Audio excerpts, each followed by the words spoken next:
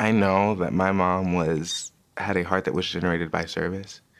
And if you met my mom, you probably met her in some capacity where she was serving in some way.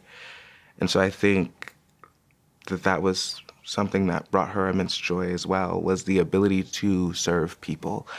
And so I do think that she lived her dream. I think my mom would say is that sometimes the best way to serve is silently, right? Um, my mom was a beautiful example of what it means to serve not for accolades, but for the love of people and the love of humanity. I, I actually got to see firsthand what my mom's impact on people looked like. And um, when she was sick and she was in the hospital, um, several people that she had worked with previously came to visit her and they would tell all these amazing stories about um, these times. And I obviously wasn't there for them, so I wouldn't have known.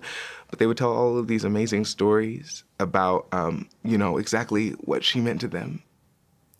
And so to get to see firsthand the impact that she had on people and how that she could she could bring a smile to anyone's face and she had all those memories. It was it was really really powerful. She did so many things in her life that were really really impactful. And she never would have told you that the things she was doing were impactful. She never would have asked for recognition for the things that she was doing because in her mind she was just doing them because you were supposed to do them. And um